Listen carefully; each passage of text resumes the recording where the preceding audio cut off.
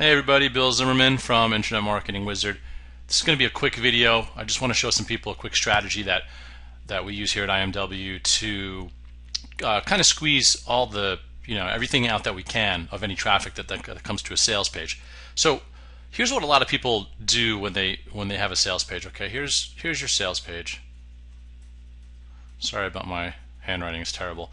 Um, you know, here's your sales page. Everybody's driving traffic to it, driving traffic to it, right? Either they buy and you get the sale, or they leave and you get nothing. Okay. What we want to do is kind of change change how that works and and try to squeeze everything out that we can of all this traffic that's going to your sales page. Okay. So here's here's the gist of how it's going to work. Basically, you need you need three things. first, you need your offer. Okay, that's number one. That's going to be your full price offer. Okay. Then you need a second offer. Okay, this is going to be that discount. Okay. And then you need a squeeze page.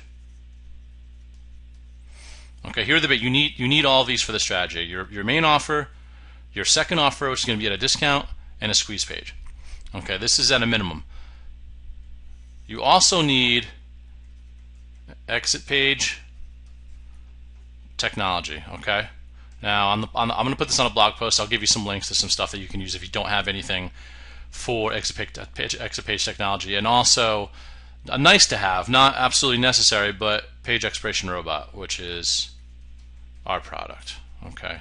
Not necessary but good to have okay. So these three these are three pages you need. You need this software for sure and then PER is, is a nice to have.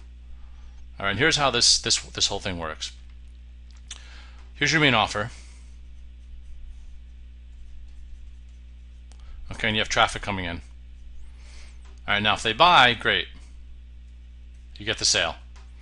If they close your page, oops. If they close the page, they're going to get presented with an exit page. Okay, it's going to say, you know, click cancel, blah, blah, blah, to, to stay on the page or leave the page. You've seen them all before.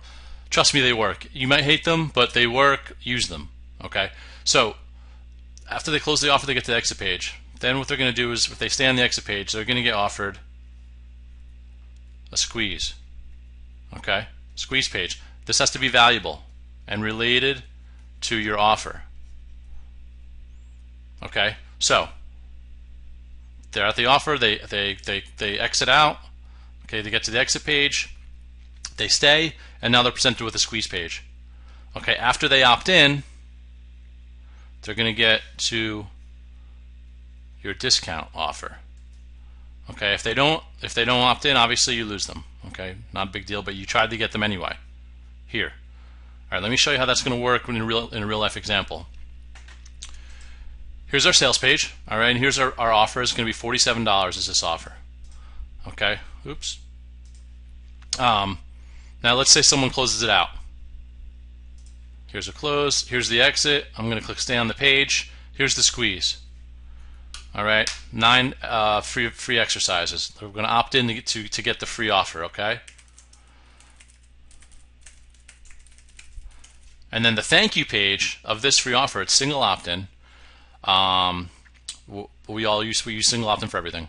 The thank you page for this is going to be our discount offer. Okay, and here's the discount offer. Wait, before you get to the download page, here's an offer, a new offer for you. Okay, it's going to be the same product that we just offered them, except at a discount of $4.95, billable now, and another $25 billed in three days. Okay, so this is even more enticing for them. They don't the, the, the first offer they saw that closed down was $47. Now they're only off they're offered the same product for $4.95 that they get to check out for three days that they could cancel. Okay, or if they like the product, they just get billed another 25 one time. That's it. Okay, and obviously we have page expiration robot here to give them a little more sense of urgency. Oh my God, I have to get this now. Time's running out. Okay, real simple if you have any sales pages up, try to get this strategy working up on the one sales page.